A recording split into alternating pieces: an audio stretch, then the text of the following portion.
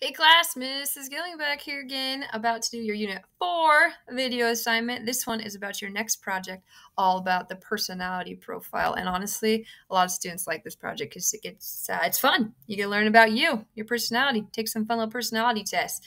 But before we talk about that, let's do the joke of the unit. This one's a cartoon. A battery talking to his therapist, and he says, I just try to focus on the positive side of things because you know batteries have two ends, a positive and negative, and he's going for the positive side, guys. And we all should try to be happy, right? Go for the positive side. Is that a good one? Is that one okay? All right. Hey, if you got some jokes and you want to send them to me, some psychology ones, send them to me, and maybe they will make it in the joke of the unit. I would love that actually, because sometimes I can't find any more good jokes. So help me out. If you got some good ones, send them my way. All right, let's learn about your project. Here's the introduction. Background Personality tests are wildly popular. You may have already taken some. Workplaces use them to evaluate job applicants or to help employees get along. Schools use them to help students explore potential careers. People take them just for fun, to see what makes them tick, maybe to discover their strengths and weaknesses, or to compare what they know of themselves with what a test results might say. What makes these tests so popular? Do people really need a test to tell them if they are extroverts or introverts, logical or creative? Do these tests have value for psychologists or for the people taking them? These are questions you'll think about in this project. So, all about personality tests. Here's the objective. For this project, you will explore your own personality. So, you got to learn about you. First, you will reflect on your own personality, thinking about your own experiences, emotions, and behaviors. Then, you will complete two different personality assessment tools to compare, contrast, and evaluate the results you will need to consider the similarities and differences between the tools and the results, as well as the reliability and validity of the different techniques. So here's your steps. I'm going to give you some step-by-steps and instructions. And this project is all in the course, so you don't have to like write up a separate paper for it. It'll be there'll be text box that you can put the entries in and it'll tell you, hey, put this one here, put this one here kind of like with your other project you'll submit it all at the end even though you can you know fill out the different boxes. There won't be a submit button until you get to the very end and then you can review things and then submit it. So step number one write a personality self-assessment. Think about what you've learned about theories of personality and personality traits. What combination of factors makes a personality? What makes you you? So you're going to write a paragraph just one paragraph you know, three to five sentences in which you first define personality. What is personality? Look through the readings. The workbook gives you a great definition on those. So, so find that definition. Define personality and then describe your personality in as much detail as possible. I want to be able to understand you after you write this, this paragraph.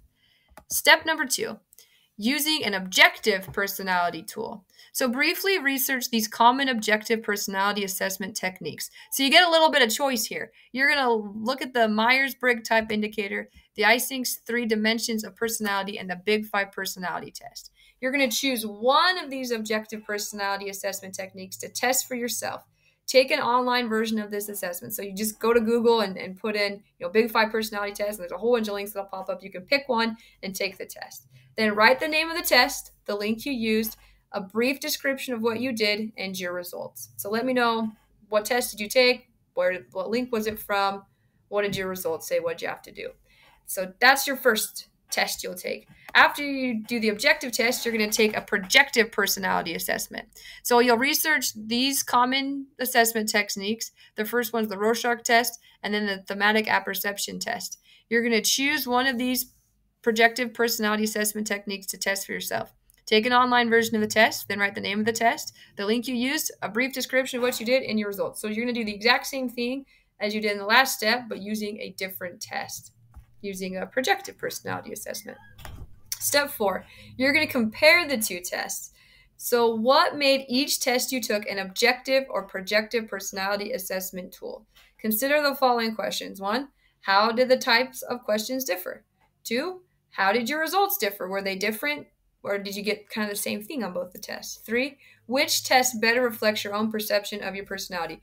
Make sure when you write your paragraph that you're answering that question. What made each test you took an objective or projective personality assessment tool? And use those three questions to guide you as you answer those questions. And then step five, the last step, evaluating personality assessment techniques Consider this statement from cat people, dog people, gecko people, an article you read. Asking people to describe their own personalities has limits. Everyone wants to look good. So you're going to think about that those two sentences there. Asking people to describe their own personalities has limits. Everyone wants to look good. So thinking about those sentences, answer these questions. One, what are some of the limitations of online personality assessment tools? What might be some of the benefits of these tools? So what are good about these tools? What's maybe not so good about these tools? And then answer this question. Do you feel that the objective or projective assessment techniques you researched are valid and reliable? Why or why not? Support your answers. So the important thing here is say whether or not you think they're valid and reliable, but then tell me why.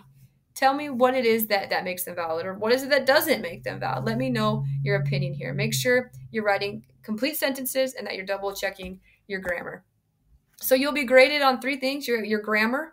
Make sure that you know you're using correct spelling and punctuation. You're writing complete sentences. Don't just write down yes, no, maybe. Just make sure you're using complete sentences because if you were a psychologist writing a paper, right, you'd have to be complete and you'd have to use good grammar so people would take you seriously as the author of it. The completeness, make sure that you address all parts of each prompt. So if I say, is this valid and reliable, yes or no, support your answer, make sure that you don't just say yes or no, but that you tell me why, that you give me some evidence to support that. And last, accuracy. Are your statements correct? Um, do they line up with with what you know we've been learning in the course? Is it is it right? And that's that's what you'll be graded on. It's, it's actually really fun. I, a lot of students like to take the test and learn a little bit more about them and their personalities. But if you do have any questions at all please as always reach out to me and i'm more than willing to help. But other than that good luck on your test on your project and have fun with it. Thanks guys